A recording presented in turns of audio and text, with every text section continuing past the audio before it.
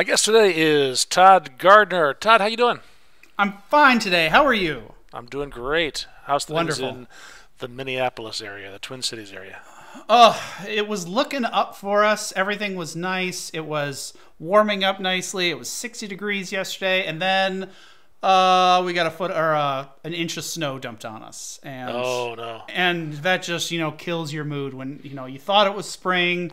The, the weather said, uh, uh, uh, nah, nah, Maybe none for people you were- yet. People are going outside too much. Yeah, God said we can't have that. you like this Get too much. We're inside. taking it away.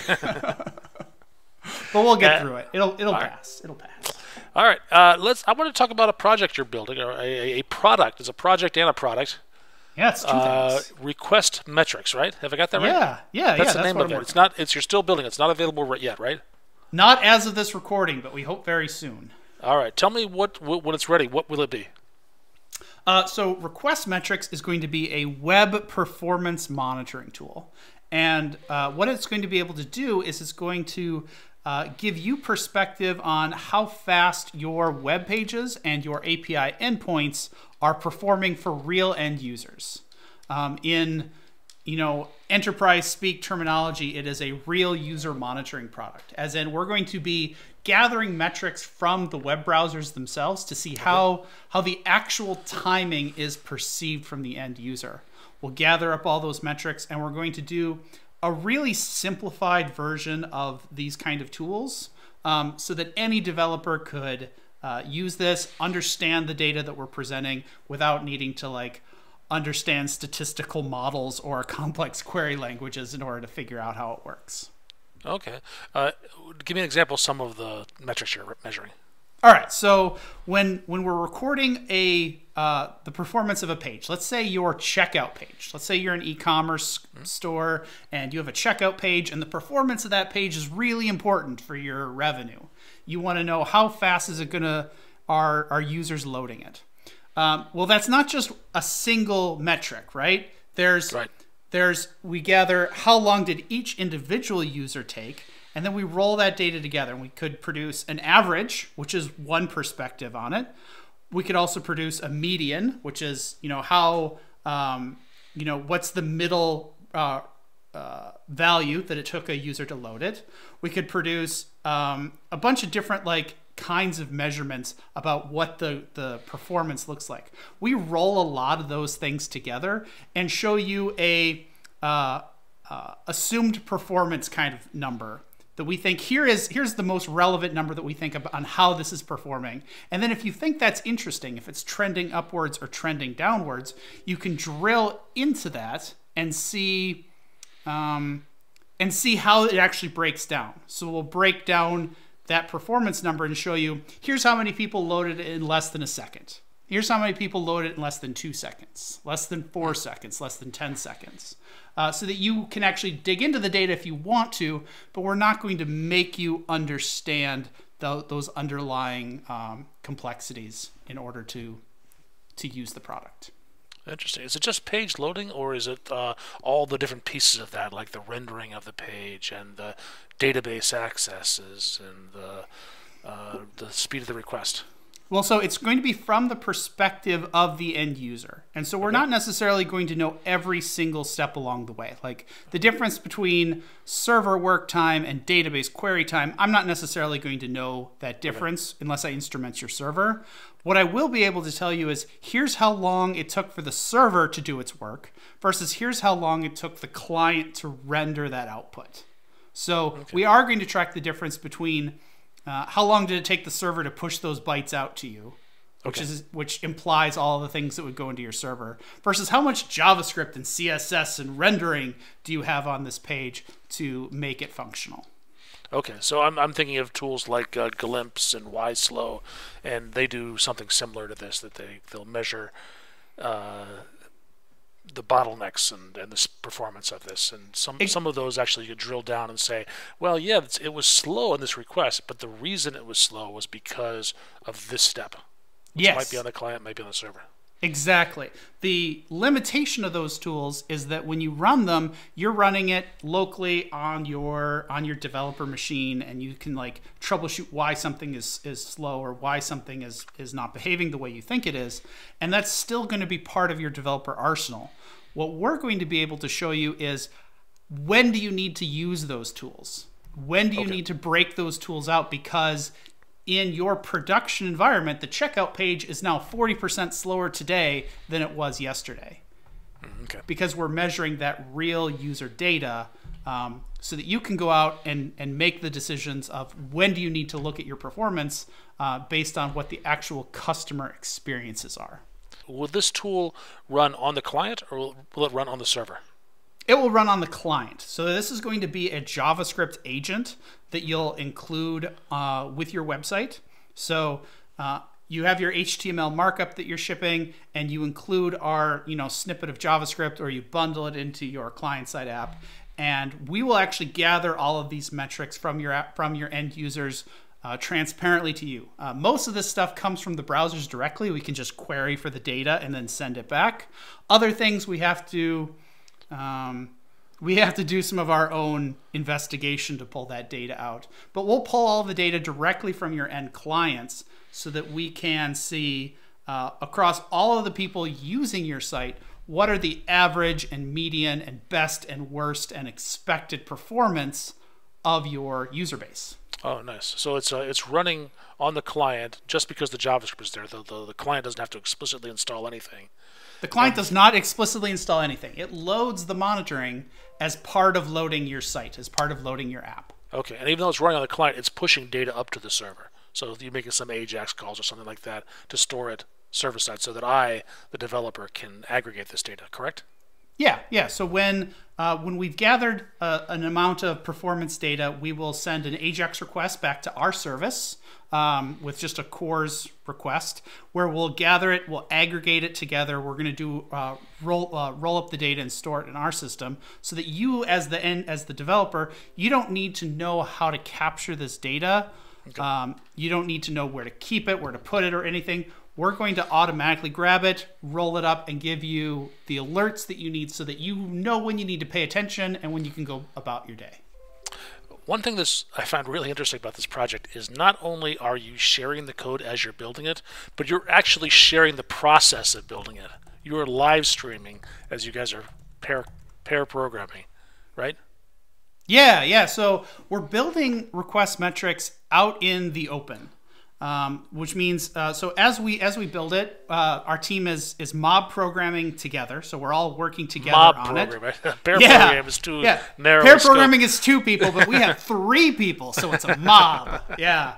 So we're we're, we're mob programming it together over video uh, video chat, and uh, we're recording our entire working session. And then a lot of people do this and like broadcast it on on Twitch or other kind of live streaming kind of things.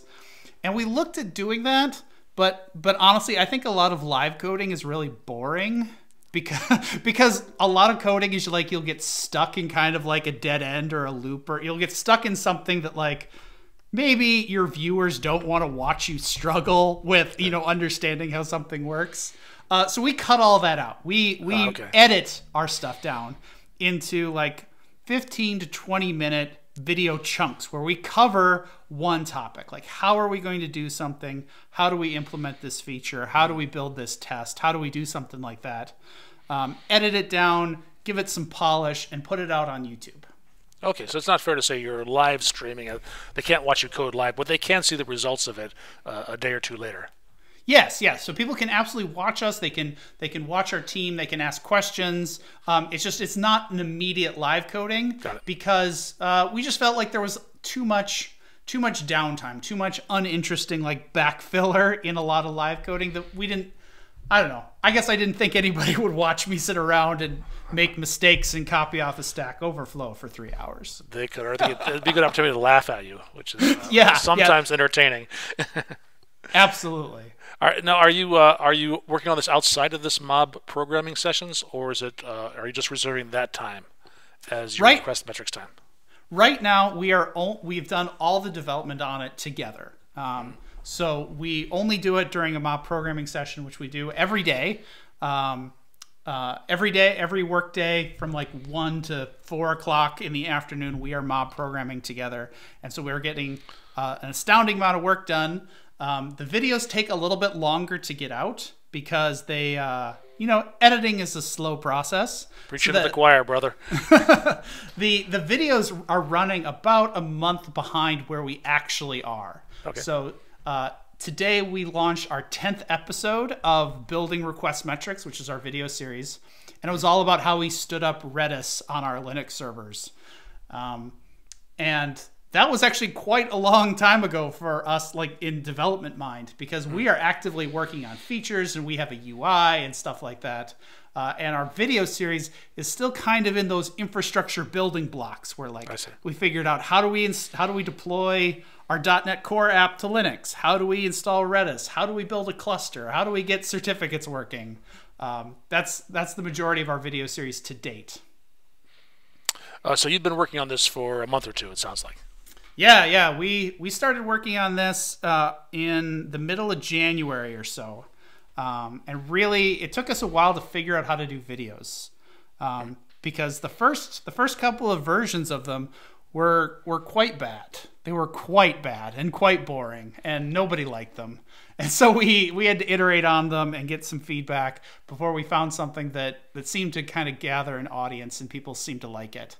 Uh, so that was really the delay in getting the videos out is we wanted to produce content that we thought was interesting and different and not just not just a, a clone of our video chat feeds Are you just what what tools are you using? Is it just a Zoom channel or? Uh, yeah right now we just right now we just record our zoom channel um, uh, so uh, we we connect via zoom but we're recording using uh, obs so that we can do overlays and some zooming functions from the actual video feed uh, and then we take that and we do some editing using like um, uh, a combination of Adobe and Apple tools, depending on who's doing it, to do like some editing and overlays and uh, some fun text effects. And and then we publish it to YouTube. I use Adobe Premiere Elements myself. Yeah, yeah. I think uh, Eric, who's one of the other guys on the channel with me, is using Adobe. I personally just use iMovie because I uh, because it's free. because it's free and it's already on my computer. That, that totally makes sense. Like, that resonates with me actually. uh, so what's the uh, what's the timeline now? Are, are you do you have something that people can try now, or what's if not, what's the target for that? Not so. As of the re- this recording, which is on April third, we are we do not have anything that anybody can log into yet. Uh, we are in internal beta right now. We're running request metrics on ontrackjs.com and on our other properties, That's your and it product. looks really optimistic. Um, but we're probably three to four to five weeks before we start bringing in other people still. Uh, but we do have a huge backlog of videos that are coming out that we're publishing like two or three a week. Um, so people can like subscribe to that and watch us build it and see our ideas and give us feedback on what's happening. Um, and if uh, as soon as we open that that up, we'll we'll do videos showing off. Here's how it works. Here's here's the end to end kind of description of of the product. Great. Uh, send me the URL for that YouTube channel, and I'll put it in the show notes. Will do. Will do. Uh, is this a commercial product? It will be a commercial product. However, it will be a cheap product. so the the idea that we have behind this, um, kind of our our core thesis of of why we're building request metrics is that there's lots of other like web performance monitoring tools out there. And most of your listeners have probably heard of one or used one, but most of them tend to fall into or have two main problems.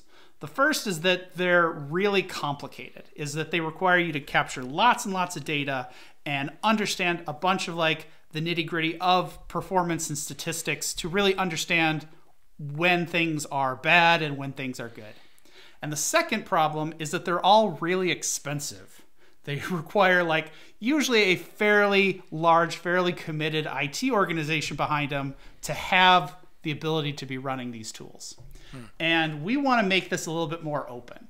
Uh, we want to make uh, request metrics really, really inexpensive and really, really easy for any team to add web performance monitoring to their, their tool belt. And so we're shooting to be able to give this for like $9 a month Great. for you to, for you to be able to get this kind of uh, functionality. And a lot of our conversations in the video series kind of revolve around how do we give you enough data that a developer can digest, but del- but operate this in a way that we can make that we can be profitable at nine dollars a month. And so we have to minimize our infrastructure, minimize the amount of data that we're capturing, minimize the the overall overhead of our system to hit these targets and deliver a product. And I think our outcome has been really good. The, the product is super fast uh, because we ended up storing all of our data in Redis. Uh, and so it's really just like loading like keys out of Redis and displaying them on a web page, and it's so fast. Yeah.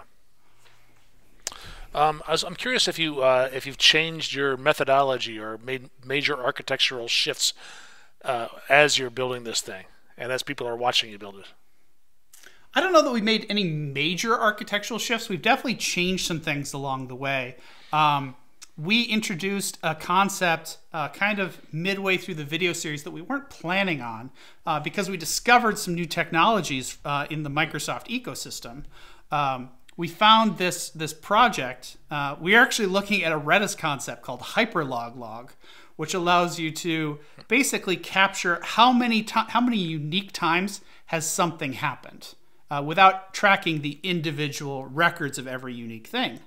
And there was a package in the Microsoft ecosystem that um, that mirrored that functionality called like cardinality something. I don't know. I- yeah. Um, but essentially, it allowed us to create this data structure that we can just fire records into it, and it will count how many times a unique thing has been in there without ever storing the actual things that I've put in there. And what that lets us do is it lets us count how many unique people have visited this page oh, okay. it's it's a really valuable thing because what we were seeing in our tests is occasionally the performance of a particular page would spike and it would just go super high, like ridiculously high. And we're like, why is that happening? Like there's there's a bunch of hits to it. Like we're seeing like 20 different hits to this thing. Turns out it was 20 different hits from one person who just happened to be like in a weird state or on a terrible connection or something like that. And they were causing all of these problems. But um, uh, that sort of like we have changed uh, our feature set based on these early betas and and what we are what we're discovering in the .NET community. Very cool. Um, anything that you want to talk about that we haven't covered yet? I think that's that's it. I mean, the request metrics is, is occupying most of my time and dreams these days. Oh yeah. Uh, that's kind of what I'm obsessing about. and I have they're at uh, requestmetrics.com. Have I got that right? Yeah, requestmetrics.com. Right Is there- now, how much information is out there now? Uh, right now, it's it's basically a video, or it's a series of our video feed. Um, In the in the next couple of weeks, it'll probably be replaced with more descriptions of our product, with links out to the videos so that you can see how it was built. Uh, but that's going to be, you know, another step along the way to standing up a new a new online service. Oh, I look forward to seeing it, and uh, I look forward to the videos as well. Yeah, awesome. Thank you, man. I really appreciate the time you spent with me today, and I hope you stay safe in this crazy times we're having. Yeah, you too. You too.